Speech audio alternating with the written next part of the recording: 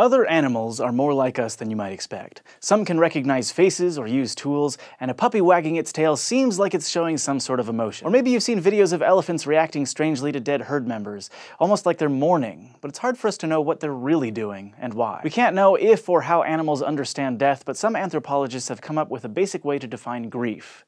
It's a change in behavior in living creatures that knew the deceased. And while this is one way to define grief in humans, it's also a useful guideline for scientists who are trying to understand grief in non-human animals. Now, these researchers are looking for behavioral changes that go beyond checking out or getting rid of a corpse, such as an animal switching up its daily routine or showing what looks like distress. Some animals are all business and we haven't noticed any signs of grief from them. Lions, for example, will casually eat their dead companions rather than pass up some easy calories. And for animals like bees and naked mole rats that live in dense colonies, hygiene is a big concern. These species tend to quickly dispose of dead bodies, or at least seal them away from the living to avoid exposure to decay and disease. Crows and jays, part of a bird family called corvids, gather near dead flock mates in what can almost look like a noisy wake. But some ornithologists think they might just be alerting other survivors and investigating how their companion died to learn about possible threats. With so many different responses to death, it can be hard to tell which species might go beyond pragmatism and experience grief. But some of the likely suspects are mammals known for their intelligence. Elephants have been documented to show strong reactions to the remains of their dead, while ignoring the bodies of most other animals. They may gently touch and investigate an elephant corpse, stay with it for days, or detach the tusks and carry them up to half a mile away. There are even some cases where elephants covered their dead with dirt and plant matter,